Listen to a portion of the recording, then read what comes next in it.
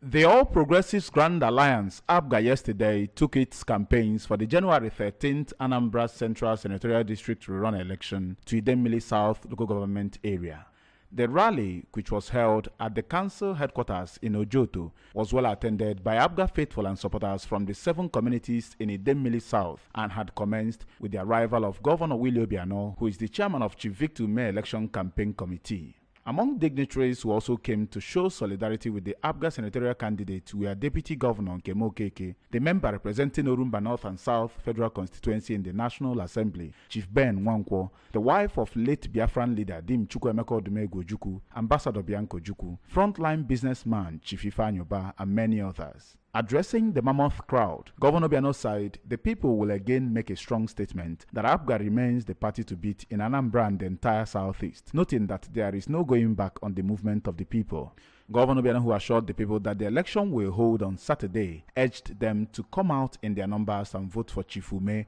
as he has what it takes to effectively represent Ndigbo at the Senate. The APGA candidate for the senatorial election, Chief Victor promised that if elected, he will avail the people quality representation as well as work closely with Governor Obiano to bring dividends of democracy to Anambra and advance the party to other southeast states. mụ na ọkamalite ekwusi ike n'ije a maka ebe ọ jekọ bụ ebe okwu na-agara ọnụ direct chamber. Ya dị senate solue de amara na ọnya ọtụ ntọ m na-elula ọ ga-eme ka ewenatara anyị ebe nna ya ọnụ bụ mbọchị satọde onye ọbụla pụtaba